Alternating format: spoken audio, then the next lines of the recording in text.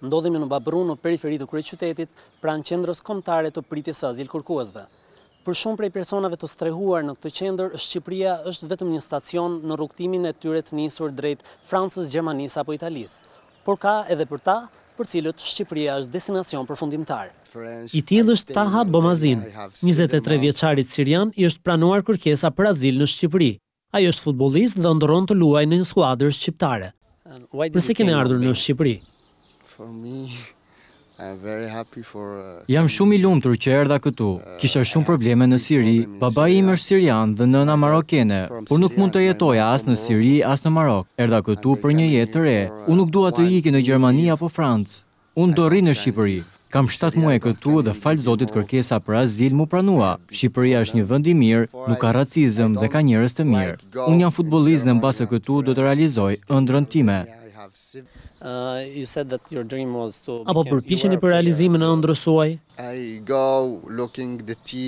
Në këtë moment është pak e vështirë. Unë i kam dërguar e-maile klubit Futboll Tirana, Partizanit dhe skuadrave të tjera, por deri tani nuk kam marrë përgjigje. Njëzet e një vjeçari është futur në Shqipëri nga kufiri i gjelbër me Greqinë, pas dhjetë ditësh ecje në këmbë. Mendon të ndërtosh familjen tënde këtu?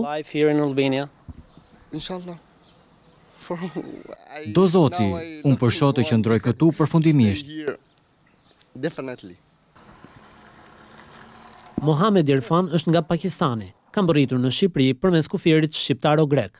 Keni kaluar përmes kufirit të gjelbër?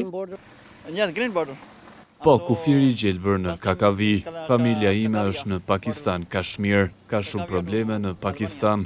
Unë nuk kisha punë në Pakistan. Shqipëria ka njerëz të mirë, por është vend i varfër. Do të iki në Itali. Edhe Ali Hasan është pakistanez. Ai ka lënë gjashtë anëtarët e familjes në vendin e tij me dëshirën për të shkuar në Francë. Unë kam paguar dy mijë e pesëqind euro, kam udhëtuar nga Pakistani në Iran, pastaj në Turqi dhe Greqi. Nga Greqia në Shqipëri nuk kam paguar, pasi kemi kaluar kufirin në këmbë, ecëm tre ditë. Burime pranë Ministrisë së Brendshme bëjnë me dije se në qendrën pritëse në Babru Aktualisht janë strehuar rreth njëqind e tetëdhjetë emigrantë nga Iraku, Siria, Afganistani e Pakistani. Totali i emigrantëve të futur në Shqipëri nga një janari i vitit dy mijë e tetëmbëdhjetë është plot dy mijë e treqind persona.